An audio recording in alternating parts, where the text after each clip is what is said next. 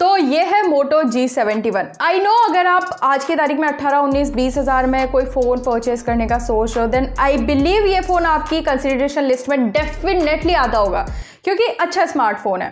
But वो बोलते ना, हर चमकती चीज़ सोना नहीं होती।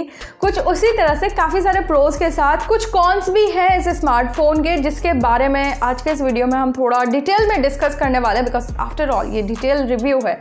तो बिना कोई टाइम वेस्ट ये शुरू कर लेते हैं इस वीडियो को। तो आई बिलीव आप लोगों को शायद से ये चीज़ पता होगी, अगर आप चैनल पर रेगुलर हो तो कि डिटेल रिव्यू में हम सबसे पहले डिस्कस करते हैं, जहाँ पर मेरा फ़ोन में नेगेटिव एक्सपीरियंस रहा है मतलब कि फ़ोन की कॉन्स के बारे में।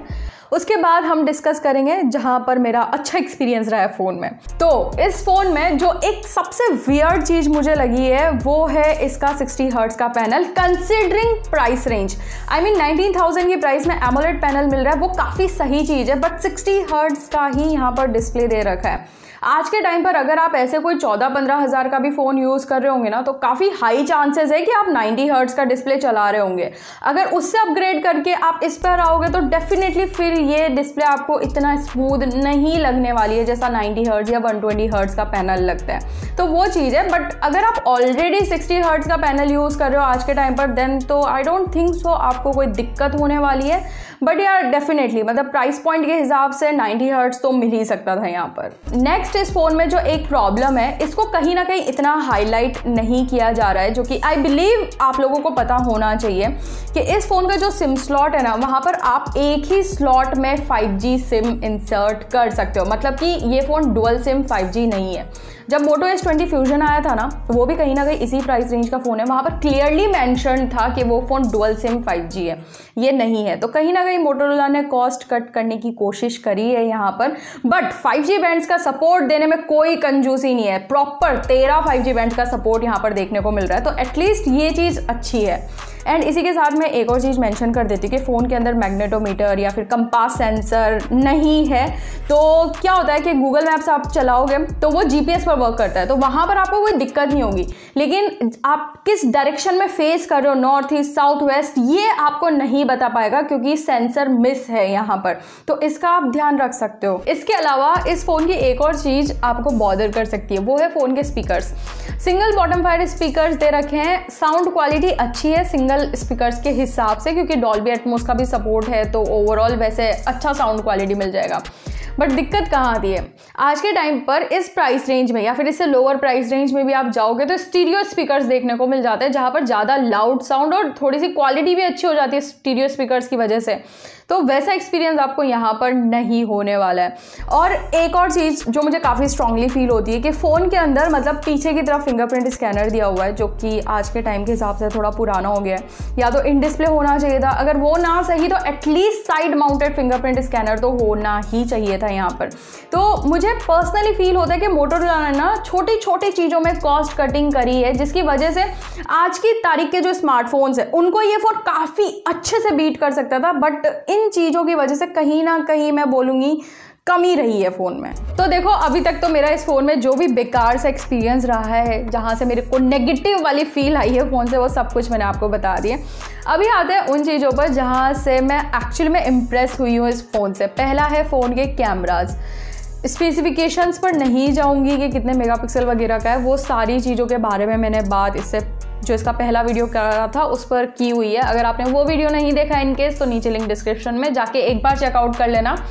लेकिन अभी मैंने जितने भी फ़ोटोज़ यहाँ पर निकाले हैं डे टाइम पर मुझे काफ़ी अच्छे फ़ोटोज़ काफ़ी अच्छे डिटेल्स ऑन पॉइंट शार्पनेस और कलर कॉन्ट्रास्ट बहुत प्यारा इस फ़ोन ने कैप्चर किया है। कलर कॉन्ट्रास्ट पर मैं इसलिए फोकस कर रही हूँ बिकॉज़ आज से I mean I don't know शायद सात आठ महीने पुराना इनका मोटो एस ट्वेंटी फ्यूजन वाले टाइम की मैं बात करूँगी।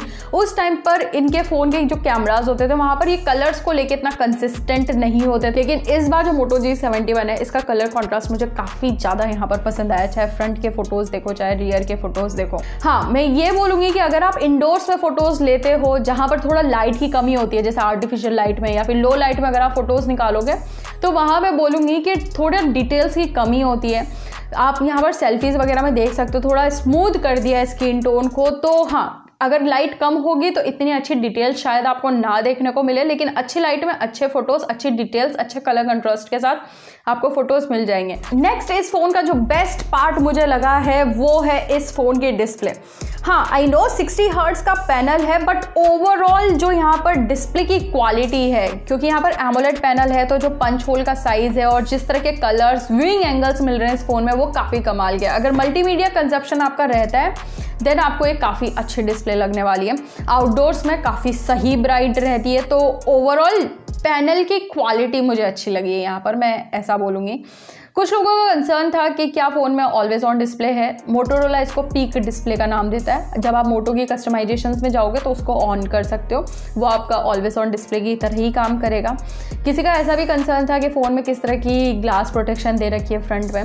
देखो मोटोरोला इसको कभी भी नहीं बताता है खुल के कि उन्होंने कौन सी प्रोटेक्शन यूज़ करी है। लेकिन जब भी उनसे पूछा जाता है कौन सी प्रोटेक्शन है तो equivalent to Corning Gorilla glass five कभी equivalent to Corning Gorilla glass three इस तरह के जवाब मिलते हैं। तो कोई तो उन्होंने प्रोटेक्शन यूज़ करी है बट आपकी सेफ्टी के लिए मैं यही बोलूँगी क्योंकि बताया नहीं है कौन सी प्रोटेक्शन है तो प्लीज़ आप अपनी तरफ़ से प्रिकॉशंस लेके चले और कोई ना कोई टेम्पर्ड ग्लास अगर लगवा लेंगे तो आपके लिए ज़्यादा बेटर रहेगा। बाकी इन सब के अलावा एक चीज़ तो मोटो के फ़ोन में हमेशा अच्छी रहती ही रहती है, चाहे किसी भी प्राइस रेंज में चले जाओ, वो है इनका यूआई एकदम neat and clean bloatware free ads free तो उस हिसाब से इसकी फील अच्छी है लाइट सा यूआई लगता है तो कोई एक्स्ट्रा आपको झंझट नहीं होगी यहाँ पर और मोटो की कस्टमाइजेशंस भी होती है तो वो सब कुछ अच्छा है। एंड ऊपर से फिर इस फ़ोन की परफॉर्मेंस भी मतलब आपको काफ़ी सही देखने को मिल जाएगी, क्योंकि स्नैपड्रैगन 695G गलती से 600 सीरीज़ में आई गेस प्लेस हो गया है। बट कहीं ना कहीं 700 सीरीज़ में इस चिपसेट को आना चाहिए था फॉर श्योर sure, क्योंकि मेरे आसपास के काफ़ी सारे मतलब मेरे पास स्नैपड्रैगन 750G 768G पर बेस्ड फ़ोन्स रखे हुए हैं। थोड़ा बहुत अगर मैं उनके साथ भी इस फ़ोन को कंपेयर कर करके देखा है मैंने तो मुझे ऐसा बहुत ज़्यादा बड़ा डिफरेंस नहीं मिला है। उन्हीं के आसपास का इसमें परफॉर्मेंस मिला है। तो मैं बोलूँगी कि फ़ोन ओवरऑल काफ़ी अच्छा है। परफॉर्मेंस के हिसाब से आप डेफिनेटली कंसिडर कर सकते हो। नेक्स्ट इस फ़ोन में जो एक और मुझे अच्छी चीज़ लगी है, वो है इसका battery and charging department I mean अच्छी से मतलब ये नहीं है कि बहुत ही अच्छा है। बुरा बिल्कुल भी नहीं है। डिसेंट में काउंट कर सकते हो, क्योंकि 5000 थाउज़ेंड बैटरी 33 वोट का चार्जर तो ऐसे बैलेंस्ड टाइप की चीज़ें यहाँ पर दे रखी है। और इसको zero to hundred percent charge करने में एक घंटा पंद्रह मिनट एग्जैक्ट टाइम आपको लगेगा।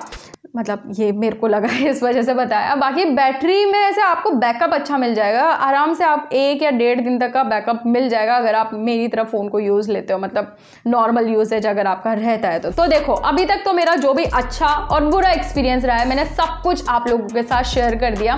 बट कुछ छोटी छोटी चीज़ें होती है जो जानना ज़रूरी है, वो बता देती हूँ। फ़ोन के अंदर एनएफसी का सपोर्ट दिया हुआ है। गूगल डायलर है यहाँ पर, जिसमें अगर आप कॉल्स रिकॉर्ड करोगे तो सामने वाले को इन्फॉर्म हो जाएगा कि आपकी कॉल रिकॉर्ड हो रही है। आई पी फिफ्टी टू की रेटिंग है और थिंक शील्ड की प्रोटेक्शन दी हुई है तो थोड़ा सिक्योरिटी एंड प्राइवेसी के हिसाब से अच्छा स्मार्टफ़ोन है। बाकी तो देखो, उन्नीस हज़ार के हिसाब से मैं बोलूँगी फ़ोन अच्छा है। आई मीन प्राइस को तो जस्टिफाई कर रहा है, क्योंकि जो बेसिक और मोटी मोटी चीज़ें होती है, जैसे कि डिस्प्ले की क्वालिटी हो गई कैमराज परफॉर्मेंस और फाइव जी बैंड का सपोर्ट बैटरी सब कुछ बैलेंस्ड है यहाँ पर। But at the same time छोटी छोटी चीज़ों में कॉस्ट कटिंग करी गई है, जैसे कि सिक्सटी हर्ट्स का पैनल हो गया, इसकी बिल्ड क्वालिटी या फिर आप सिंगल सिम में ही मतलब 5G डाल सकते हो। तो इस तरह की चीज़ों में भी कॉस्ट कटिंग करिए, जिसको मैंने थ्रू आउट दी वीडियो में हाईलाइट किया है। आप इन सब चीज़ों का ध्यान रखिएगा अगर आप इस फ़ोन को लेने का सोच रहे हो तो। बाकी अगर आपको एकदम स्पेसिफिकेशन वाइज चीज़ें जाननी है तो उसके बारे में मैंने पहले वीडियो में बात करी हुई है। अगर आपने नहीं देखा है, आप जाके उसको भी देख सकते हो। बाकी मैं आपको मिलती हूँ नेक्स्ट वीडियो में।